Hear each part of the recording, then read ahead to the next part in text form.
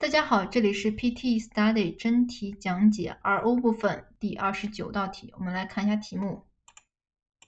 这道题呢相对比较简单，只有比较短的四句话。我们先从第一句话开始看。第一句话一开始的时候呢，就讲到了在二十一世纪初，移民对福利国的影响已经成为决策者和政治家们讨论的主要问题。在这一句话呢，我们可以看到它相对从内容上讲是比较独立的。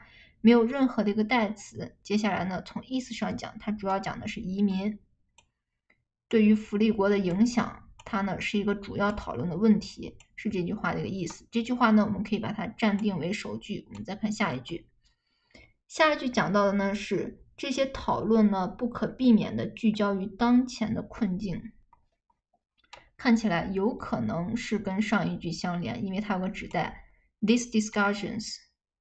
这些讨论聚焦于当前或者说是当代的困境。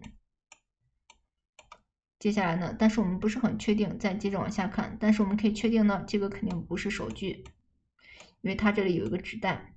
再看第三句话，第三句话讲的是什么呢？第三句话讲的是，但这些问题呢本身并不新鲜，其历史根源比人们认识到的要深远。这里呢有个转折，but。问题这些问题本身呢并不新鲜，我们可以看到呢，其实这句话跟上一句话应该是相连的。为什么呢？那就是首先有一个并不是新的问题，和上一句话的 present day 当代，它其实是一个同义替换。但是呢，前句有一个 but 作为转折，所以在这里呢是一个否定的一个内容，就是说这些当代的问题它本身呢它并不新鲜，它呢是有什么呢？是有历史根源的。比我们人们认识的呢要更深远一些，所以这句话首先它不是首句，再其次呢，它应该是跟在上句话之后。我们再看最后一句话，最后一句话讲到了什么呢？那就是从高雅的展望到《每日邮报》的民粹主义，这呢也是媒体反复出现的主题。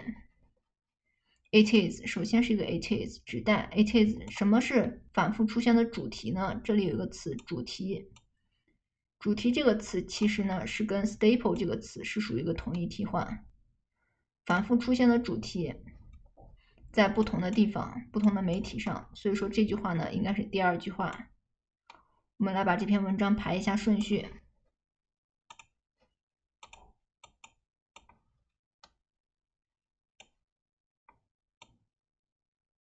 好了，这个大概就是本文的一个顺序。首先呢，第一句话先讲的是移民或者说问题本身是什么，那就是二十一世纪呢，移民对福利国的一个影响是一个主要讨论的一个话题，并且呢，这个话题这个问题本身呢，也是在媒体上反复出现的主题。在这里连接的词一个是 staple，staple 同义替换呢是 theme，是主题。接下来呢，又讲到不可避免的是，这些讨论呢，它主要聚焦的是当代的一些困境，但是转折，但是这些问题本身它并不新鲜。这个 new 和这个 present day 它呢是一个同意替换。接下来呢，它呢是有一些历史的依据、历史根源的。以上就是这篇文章的一个大致顺序。好了，谢谢大家。